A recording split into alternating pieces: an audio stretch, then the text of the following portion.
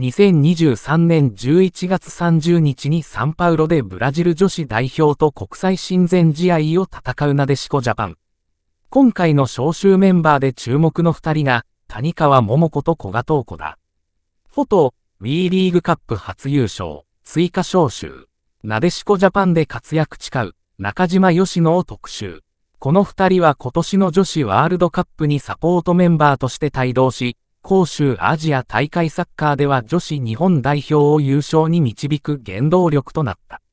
なので、初招集ながらも即戦力として期待できる部分がある。そんな超逸材を、なでしこジャパンの田中美奈は次のように評した。二人がすごい選手なのはトレーニングパートナーの時から感じていて、アジア競技大会でも結果を残していますからね。楽しみです。DF の子が、東子、特徴の一つは粘り強い守備。アジア競技大会では最後のところまで相手についていって足を出してブロックしていました。それを90分、試合が終わるまで切れずにできるのはすごいです。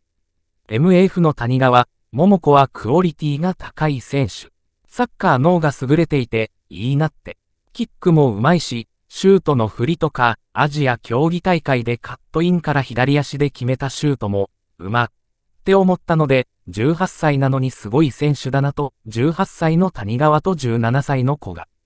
今回のブラジル遠征で出番があれば、きっと大きなインパクトを残してくれるはずだ。